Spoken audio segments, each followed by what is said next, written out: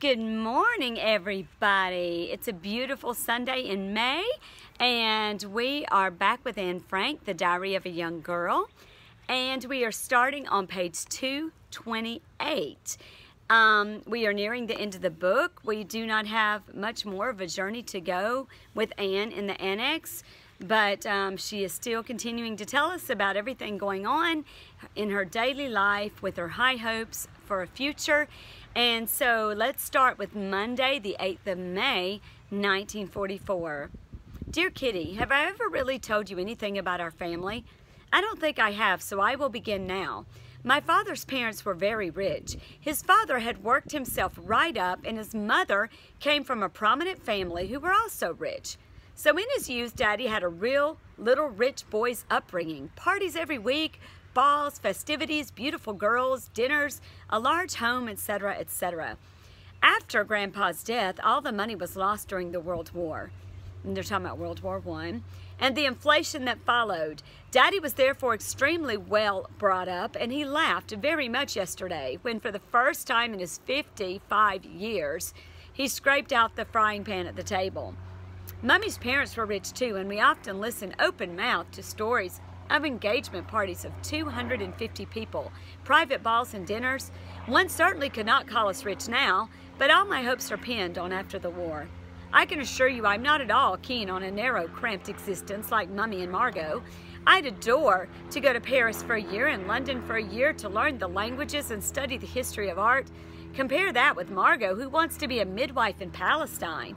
I always long to see beautiful dresses and interesting people.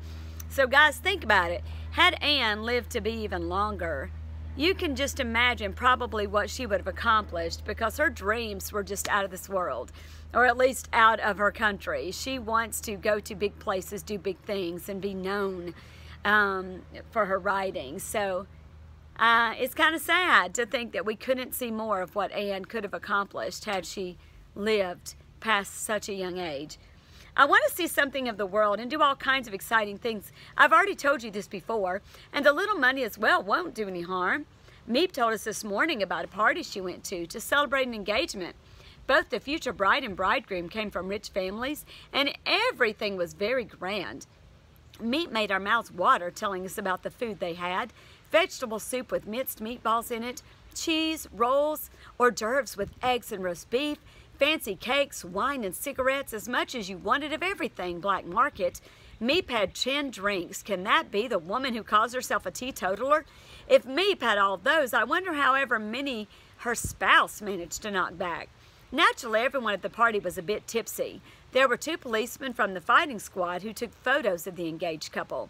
It seems as if they are never far from Miep's thoughts because she too took down the addresses of these men at once in case anything should happen at some time or other. And good Dutchmen might come in useful. Remember, we've talked about the fact that you had the Dutchmen that you wanted on your side, and then there were the Dutch police that basically were working um, and snitching to the Nazis. So you had to be really careful about who you confided in. She made our mouths water. We, who get nothing but two spoonfuls of porridge for our breakfast and whose tummies were so empty that they were positively rattling. We, who get nothing but half-cooked spinach to preserve the vitamins and rotten potatoes day after day. We who get nothing but lettuce, cooked or raw, spinach and yet again spinach in our hollow stomachs.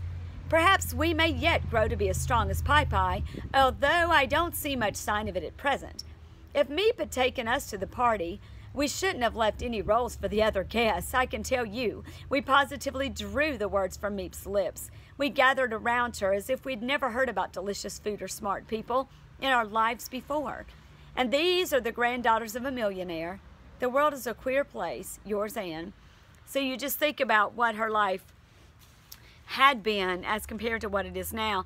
And someone might think of Miep as bragging, talking about the parties, but no, they want to hear these stories because they miss those things on the outside world. And so every time Miep tells them of something, they're just totally enthralled. We're at 2.30, Tuesday, 9th of May, 1944. Dear Kitty, I finished my story of Ellen the Fairy. I've copied it out on a nice notebook paper. It certainly looks very attractive, but is it really enough for Daddy's birthday? I don't know. Margot and Mummy have both written poems for him. Mr. Kraler came upstairs this afternoon with the news that Mrs. B, who used to act as demonstrator for the business, wants to eat her box lunch in the office here at 2 o'clock every afternoon. Think of it. No one can come upstairs anymore. The potatoes cannot be delivered. Ellie can't have any lunch. We can't go to the WC, the water closet. We mustn't move, etc., etc. We thought of the wildest and most varied suggestions to wheedle her away. Van Daan thought that a good laxative in her coffee would be sufficient. No, replied Koophuis, I beg of you not. Then we'd never get her off the box. In other words, she'd be having to go to the bathroom all the time. Resounding laughter. Off the box, asked Miss Van Daan. What does that mean? An explanation followed. Can I always can I always use it? She then asked stupidly. Imagine it, Ellie giggled. If one asked for the box in Bijenkorf's, they wouldn't even understand what you mean. Oh, Kit, it's such wonderful weather. If only I could go outdoors. Yours, Anne. So I might make a note of that, that Miss B is wanting to eat her lunch in the office every day at 2. So as if they're not cramped enough in the annex, it's going to cramp their lifestyle even more as to where they're going to be able to go in the annex. Wednesday, the 10th of May, 1944. Dear Kitty, we were sitting in the attic doing some French yesterday afternoon when I suddenly heard water pattering down behind me. I asked Peter what it could be, but he didn't even reply. He simply tore up to the loft where the source of the disaster was and pushed Mouschi, who, because of the wet earth box, had sat beside it, harshly back to the right place. A great din and disturbance followed, and Mouschi, who had finished by that time, dashed downstairs. So the kitty has basically done her tinkling where she shouldn't be, and great mess is occurring. Mouschi, seeking the convenience of something similar to his box, had chosen some wood shavings. The pool had trickled down from the loft into the attic immediately and unfortunately landed just beside and in the barrel of potatoes. Gross. The ceiling was dripping, and as the attic floor is not free from holes either, Several yellow drips came through the ceiling into the dining room between a pile of stockings and some books, which were lying on the table. I was doubled up with laughter. It really was a scream. There was Mouschi crouching under a chair, Peter with water, bleaching powder, and floor cloth, and Van trying to soothe everyone. The calamity was soon over, but it's a well known fact that cats' puddles positively stink. The potatoes proved this only too clearly, and also the wood shavings that Daddy collected in a bucket to be burned. Poor Mouschi. How were you to know that peat is unobtainable? So normally what they would put in Mouschi's box, you know, the peat they're, they're not able to get right now. So gross. That's all I can say. P.S. Our beloved Queen, talking about Queen Elizabeth, spoke to us yesterday and this evening. She is taking a holiday in order to be strong for her return to Holland. She used words like soon, when I am back, speedy liberation, heroism, and heavy burdens. A speech by Gerbrandy followed. A clergyman concluded with a prayer to God to take care of the Jews, the people in concentration camps, in prisons, and in Germany.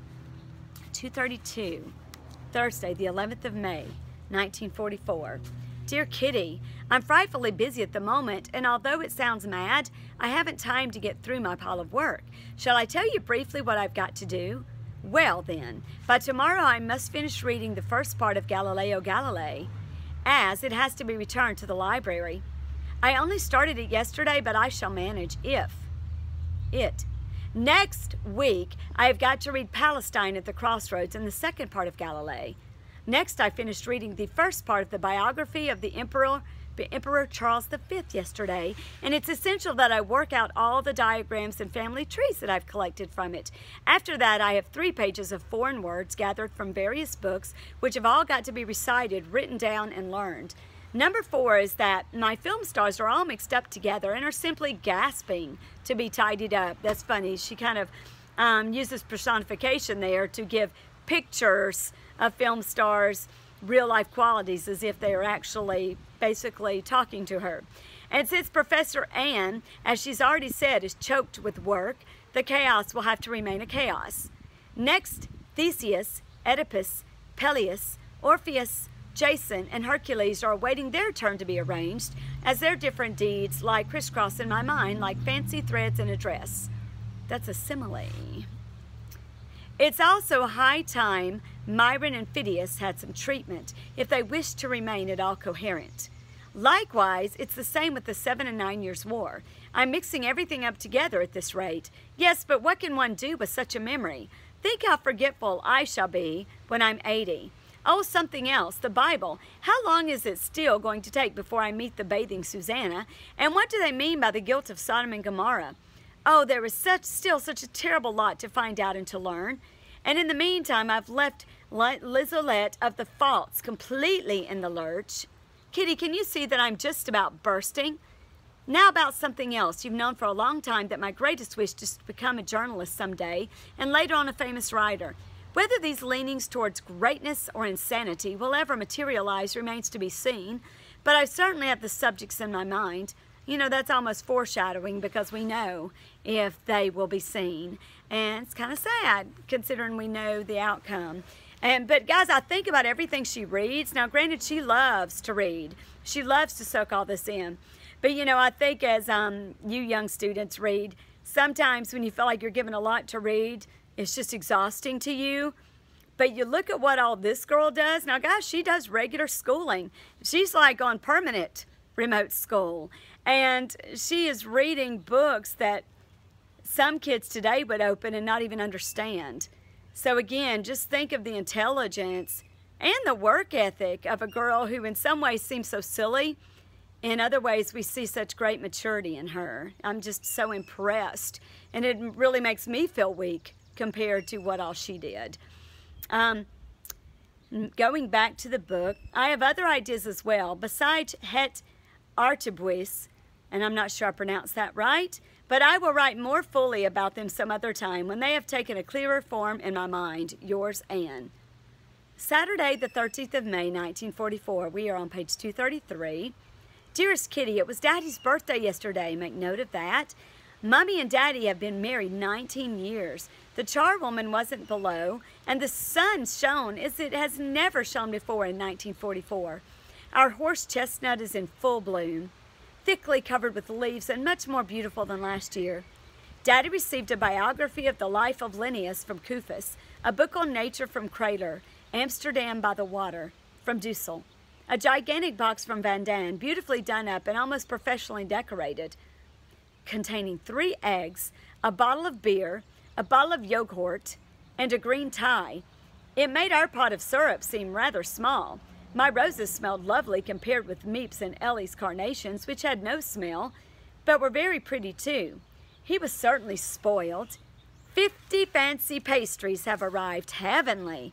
Daddy himself treated us to spiced gingerbread, beer for the gentlemen, and yogurt for the ladies. Enjoyment all around. Yours, Anne.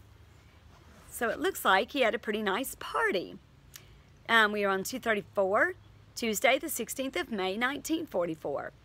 Dearest Kitty, just for a change, as we haven't talked about them for so long, I want to tell you a little discussion that went on between Mr. and Mrs. Van Daan yesterday.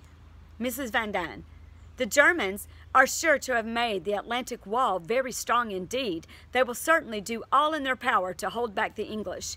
It's amazing how strong the Germans are. Mr. Van Daan. Oh, yes, incredibly. Mrs. Van Daan. Yes. Mr. Van Daan. The Germans are so strong, they're sure to win the war in the end, in spite of everything. Mrs. Van Daan. It's quite possible. I'm not convinced of the opposite yet. In other words, she's not convinced that the Germans wouldn't win. Mr. Van Daan, I won't bother to reply anymore. Mrs. Van Daan, still, you always do answer me. You can't resist capping me every time. Mr. Van Daan, of course not, but my replies are the bare minimum. Mrs. Van Daan, but still, you do reply and you always have to be in the right. Your prophecies don't always come true by a long shot. Mr. Van Daan, they have up till now. Mrs. Van Daan, that's not true. The invasion was to have come last year, and the Finns were to have been out of the war by now. Italy was finished in the winter, but the Russians would always have Limburg. Oh no, I don't think much of your prophecies. Mr. Van Daan standing up. It's about time you shut your mouth. One day I'll show you that I'm right. Sooner or later, you'll get enough of it. I can't bear any more of your grousing. You're so infuriating, but you'll stew in your own juice one day. End of part one. I really couldn't help laughing, Mummy too, while Peter sat biting his lip. Oh, those stupid grown-ups. They'd do better to start learning themselves before they have so much to say to the younger generation. Yours, Anne. So she's kind of, again, poking fun at, she thinks, the immaturity of some of the adults in the annex. Friday, 19th of May, 1944. Dear Kitty, I felt rotten yesterday, really out of sorts, unusual for Anne. With tummy ache and every other imaginable misery. I'm much better again today. I feel very hungry, but I better not touch the kidney beans we're having today.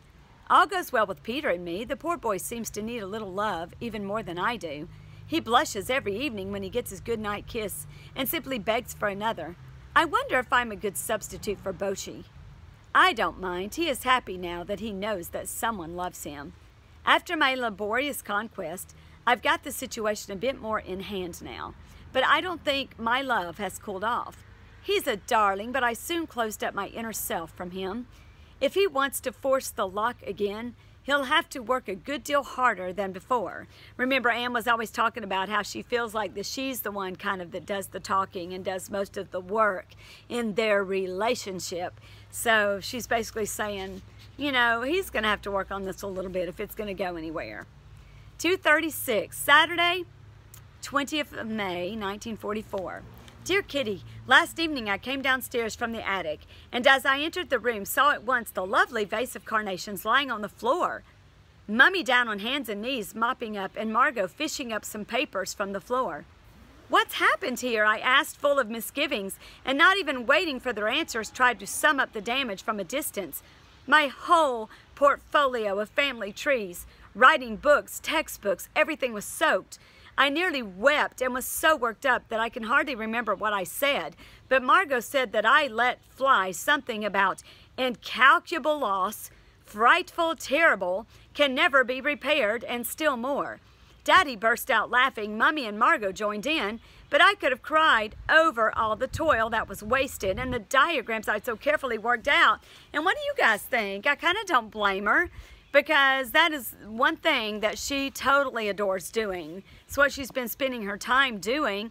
And she feels like at the moment it's destroyed because the flowers and the water have gotten knocked over. All these things she's been working on. I kind of don't blame her for being upset.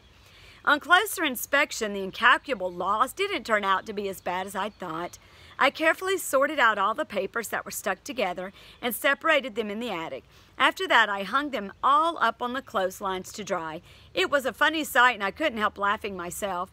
Maria de, de beside Charles V., William of Orange, and Marie Antoinette. It's a racial outrage, was Mr. Van Daan's joke on the subject. After I'd entrusted my papers into Peter's care, I went downstairs again. Which books are spoiled? I asked Margot, who was checking up on them. Algebra, she said. Imagine if all the books were destroyed, Anne would probably find that the least of her worries, right? Because we know how she feels about algebra. I hurried to her side, but unfortunately, not even the algebra book was spoiled. I wish it had fallen right in the vase. I've never loathed any other book as much as that one. There are the names of at least 20 girls in the front, all previous owners. It is old, yellow, full of scribbles and improvements. If I'm ever in a really very wicked mood, I'll tear the blasted thing to pieces. So yeah, she was kind of hoping the algebra book was a little more destroyed than it was. We are on 237, Monday the 22nd of May, 1944. Dear Kitty, on May 20th, Daddy lost five bottles of Yoghurt on a bet with Mrs. Van Daan. That's your challenge. I haven't looked that up, so someone needs to look up what Yoghurt is. And in your key points, I want you to put Yoghurt and put what it is. The invasion still hasn't come yet. It's no exaggeration to say that all Amsterdam, all Holland, yes, the whole west coast of Europe, right down to Spain, talks about the invasion day and night, debates about it, and makes bets on it and hopes. So remember, guys, they are waiting on the British to invade. They are wanting this war to be over. They're wanting to be rescued. And so that's what their hopes are lying on. The suspense is rising to a climax. By no means everyone we had regarded as good Dutch have stuck to their faith in the English. By no means everyone thinks the English bluff a masterly piece of strategy. Oh no, the people want to see deeds at last, great heroic deeds. Nobody sees beyond his own nose. No one thinks that the English are fighting for their own land and their own people. Everyone thinks that it's their duty to save Holland as quickly and as well as they can. What obligations have the English towards us? How have the Dutch earned the generous help that they seem so explicitly to expect? Oh no, the Dutch will have made a big mistake. The English, in spite of all their bluff, are certainly no more to blame than all the other countries, great and small, which are not under occupation. She's talking about all the other countries that have not been occupied by Germany. And she's like, we've got all our high hopes on the English why should they be doing everything for us? Shouldn't these other places be standing up too? Why is it just the English? The English really won't offer us their apologies, for even if we do reproach them for being asleep during the years when Germany was remaining, we cannot deny that all the other countries, especially those bordering Germany, also slept. We shan't go get anywhere by following an ostrich policy. And if you don't know what that means, you know, they always talk about how an ostrich protects itself by sticking its head in the sand. And she's talking about that's what these other countries, that's what people are doing. They're kind of turning their heads to what's happening and sticking their head in the sand. England and the whole world have seen that, that only too well now, and that is why one by one, England, no less than the rest, will have to make heavy sacrifices. We are at 238. No country is going to sacrifice its men for nothing, and certainly not in the interests of another. England is not going to do that either. The invasion with liberation and freedom will come sometime, but England and America will appoint the day, not all the occupied countries put together. To our great horror and regret, we hear that the attitude of a great many people towards us Jews has changed. We hear that there is anti Semitism now in circles that never thought of it before. Anti Semitism is hatred against the Jews. This news has affected us all very, very deeply. The cause of this hatred of the Jews is understandable, even human sometimes, but not good. The Christians blame the Jews for giving secrets away to the Germans, for betraying their helpers, and for the fact that, through the Jews, a great many Christians have gone the way of so many others before them and suffered terrible punishments and a dreadful fate.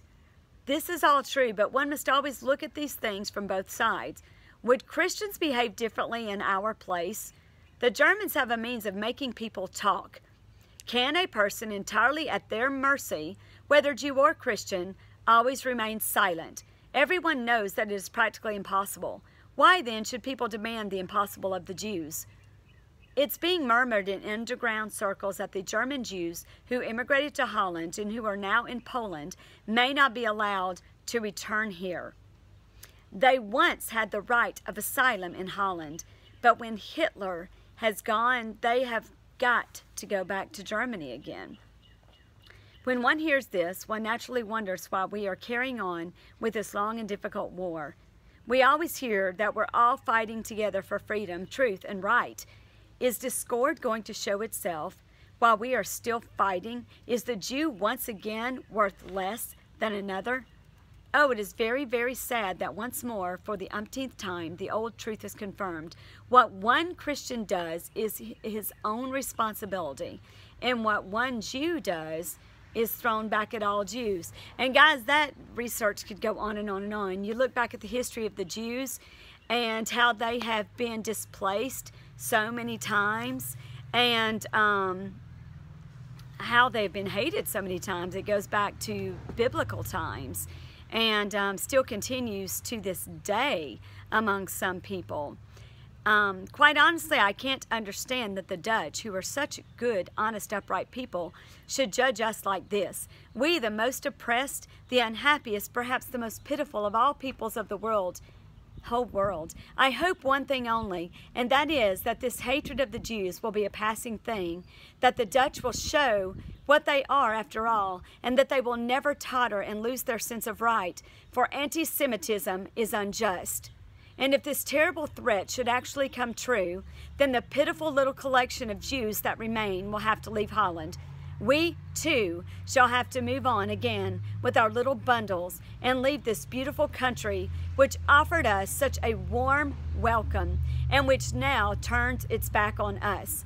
I love Holland. I, who, having no native country, had hoped that it might become my fatherland, and I still hope it will. So, again, many people are being displaced and taken from this place that they love as it's being occupied by Germany.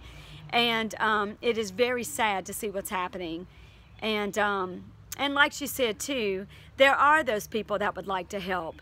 But when you are being threatened and pushed by uh, German authorities, you too sometimes will turn your back on even people that you care about because of the threat to your life. So it's really sad. And we also know of all the propaganda that's going on in the war by Hitler to make the Jews look bad to everybody there. He blames them for the debt they were in during World War I.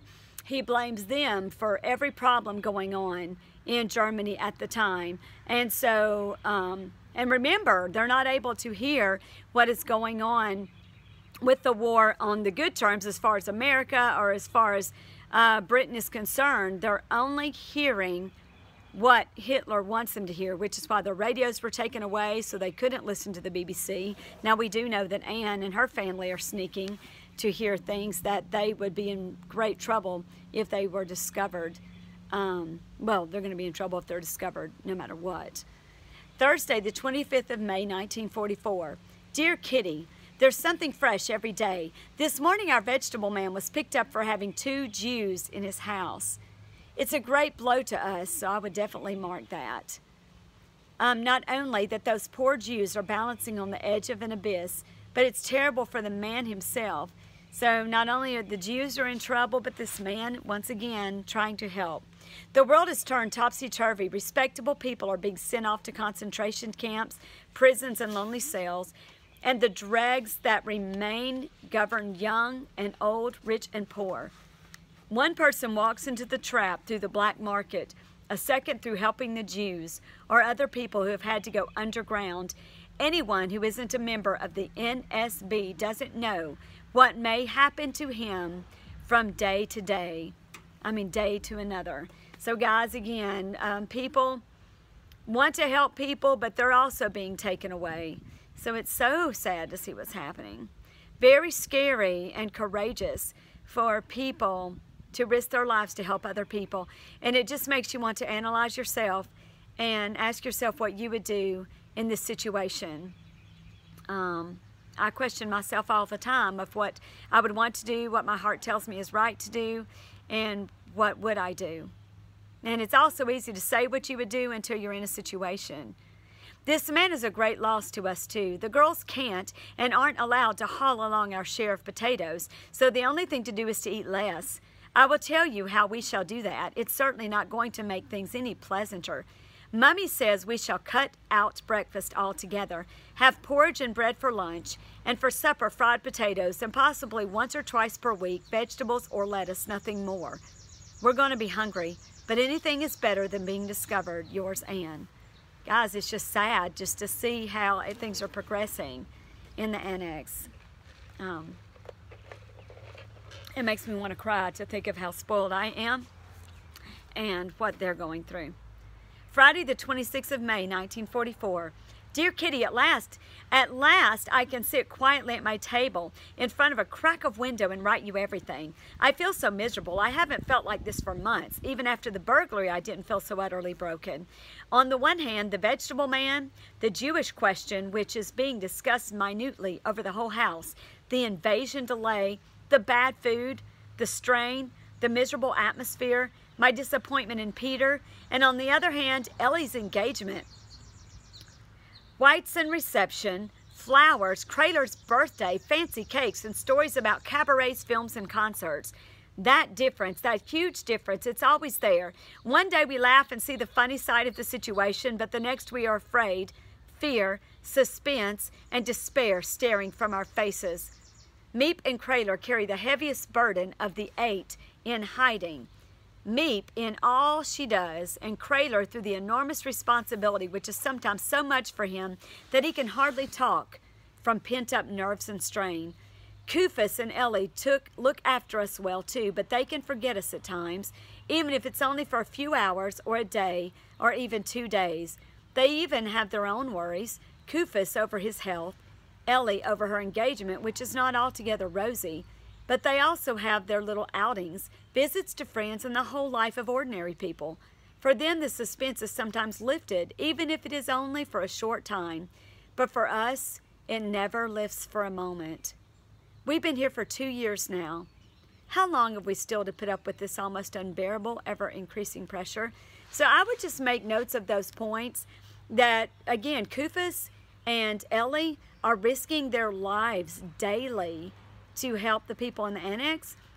But Anne makes the point that at least sometimes they can break away and still do fun things with other people because they're not in hiding, right?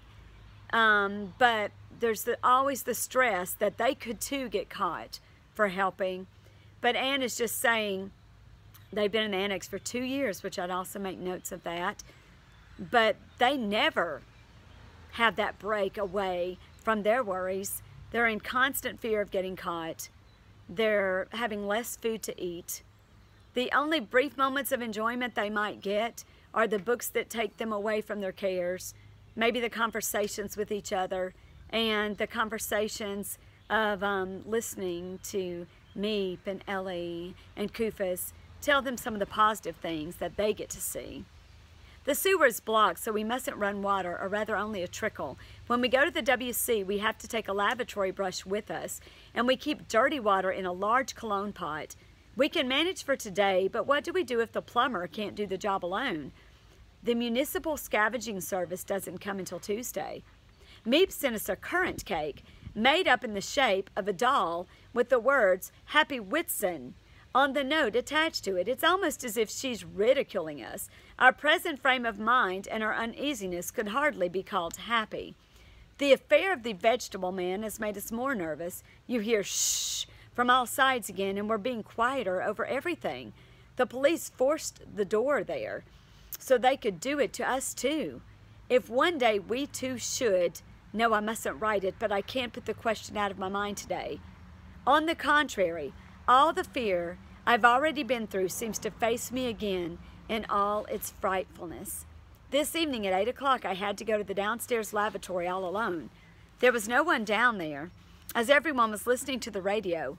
I wanted to be brave, but it was difficult. I always feel much safer here upstairs than alone downstairs in that large, silent house. Alone with the mysterious muffled noises from upstairs and the tooting of motor horns on the street. I have to hurry for I start to quiver if I begin thinking about the situation. Again and again I ask myself, would it not have been better for us all if we had not gone into hiding and if we were dead now and not going through all this misery, especially as we shouldn't be running our protectors into danger anymore. But we all recoil from these thoughts too, for we still love life. We haven't yet forgotten the voice of nature. We still hope, hope about everything. I hope something will happen soon now, shooting if need be. Nothing can crush us more than the restlessness. Let the end come, even if it is hard. Then at least we shall know whether we are finally going to win through or go under. How sad, again, guys, this young, young girl is almost saying that it would be better to be dead now than to go through what she's going through. Uh, she's still got the hope on the one side of her mind, but the other side of her, in a way, has given up hope. And it's kind of like someone dying of cancer who is ready to die. This is a metaphorically a cancer in their lives, and they're ready to, she is anyway, ready for it to come to an end. On one side, the hopes. On the other side, let's get this over with. Wednesday, 31st of May, 1944. Dear Kitty, it was so frightfully hot on Saturday, Sunday, Monday, and Tuesday that I simply couldn't hold a fountain pen in my hand. That's why it was impossible to write to you. The drains went foot again on Friday, were mended again on Saturday. Um, Mr. Koophuis came to see us in the afternoon and told us masses about Corey and her being in the same hockey club as Jopie. And again, they're talking about their kids. On Sunday, Ellie came to make sure no one had broken in and stayed for breakfast. On Whit Monday, Mr. Van Daan, Mr. Van Santen acted as the hideout watchman.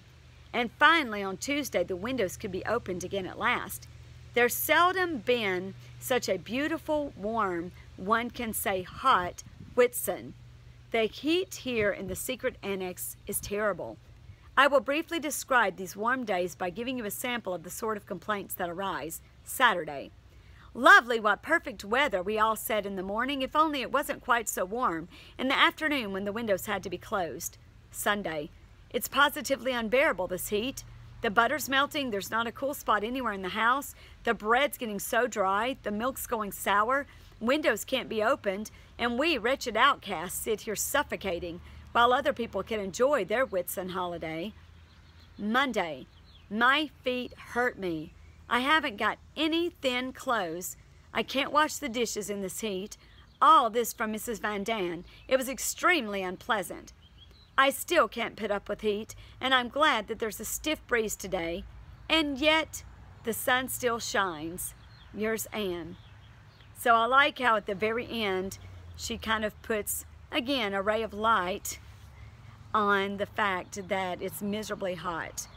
So we end, well, we're going to read one more. I take that back. Monday, the 5th of June, 1944. We're at the bottom of page 243.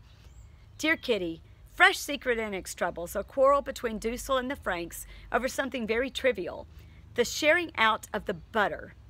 Dussel's capitulation, um, remember that, um, wait, my mind just went blank. Dussel's capitulation, Mrs. Van Daan and the latter, very thick flirtations, kisses, and friendly little laughs.